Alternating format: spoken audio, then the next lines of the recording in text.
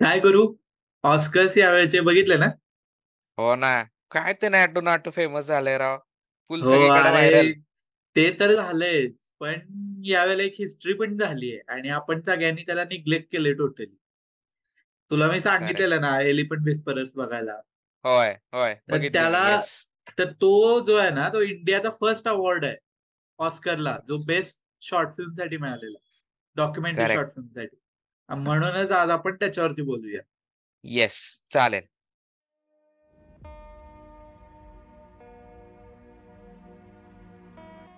पण अरे गुरु मला काय वाटतं माहितीये का? आपण विषयाला डायरेक्ट हात घालण्याआधी आपल्या प्रेक्षकांना आपण हे सांगितलं पाहिजे की डॉक्युमेंटरी म्हणजे काय असतं?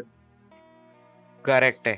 जनरली आपण काय म्हणतो की आपण हिस्ट्रीमध्ये एखादं डॉक्युमेंट लिहून ठेवलं गेलंय. किंवा हिस्ट्री लिहून ठेवली गेली त्याचं डॉक्युमेंट बनवलं गेलंय असं म्हणतो.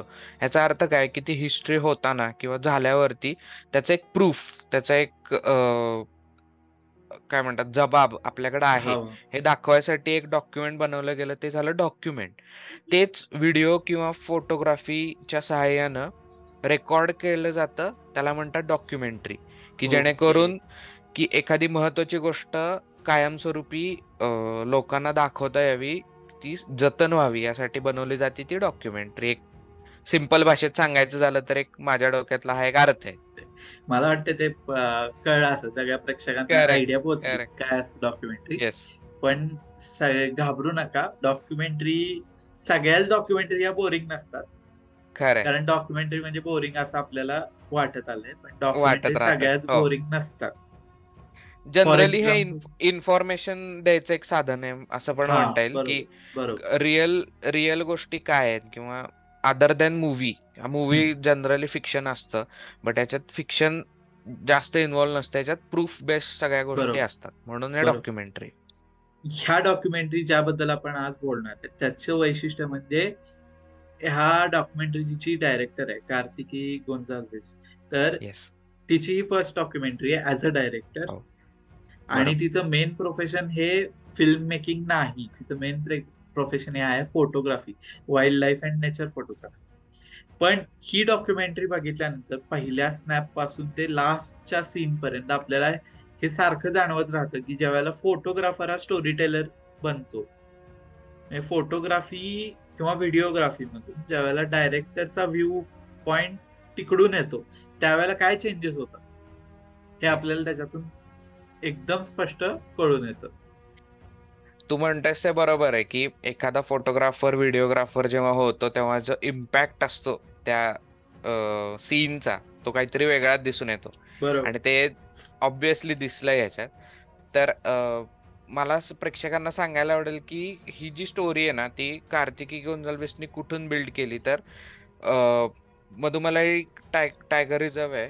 त्याच्यामध्ये टेक्कापडू एलिफंट कॅम्प आहेत जिथे हत्तीच्या पिल्लांचं संगोपन केलं जातं किंवा त्यांना तिथे आणलं जातं तर त्याची ही स्टोरी आहे की ते दोन अम्मू आणि रघु रघु. अम्मू आणि अम्मू आणि रघु कसे तिथे आले आणि त्यांची स्टोरी तिथून कशी स्टार्ट झाली ह्याची हे बेसिकली स्टोरी आहे ही जी त्यांनी. एक्सप्लोर केली आहे येस येस म्हणजे त्यांनी अगदी पूर्ण वर्षभराचं सगळं एक्सप्लोर केलंय की त्यांच्या खाण्याच्या सवयी राहण्याच्या ते कुठून आले?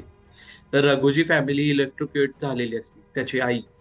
म्हणजे शॉक. लागून तिचा मृत्यू झालेला असतो. आणि. फॉरेस्ट वाले खूप प्रयत्न करत असतात की त्याला परत त्यांच्या कळपात सोडायचा. पण ते सक्सेसफुल होत नाहीत. म्हणून ते आपल्या ह्या ज्या शॉर्ट फिल्मचा हिरो आहे बोमन. सॉरी बमन. त्याच्याकडे. बोमन नाही बमन. नाही बमन आणि बेली या दोघांना त्या रघुची जबाबदारी दिली जाते. तरी बमन हा आपले मूवी शॉर्ट फिल्मचा हिरो आहे आणि बेली आपली हिरोईन बरोबर. तर त्या- त्यांच्या दोघांची काहीतरी अपरिहार्य कारणामुळे काहीतरी नैसर्गिक कारणामुळे दोघांची कुटुंब नसतात. दोघही एकटे असतात आणि आता आपला जीवनाचा उत्तरार्ध चालू असतो त्यांचा. तर त्या वेळेत ते रघुला आणि अम्मूला कसा सांभाळतात?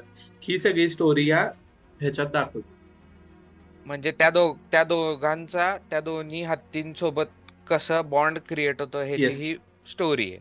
आणि नुसतं तेवढंच नाहीये की हत्तींचे इमोशन्स कसे असतात ते कसे दाखवतात ते कसे खेळतात मग त्यांना खायला काय काय लागतं? आणि ते शिकतात कसे?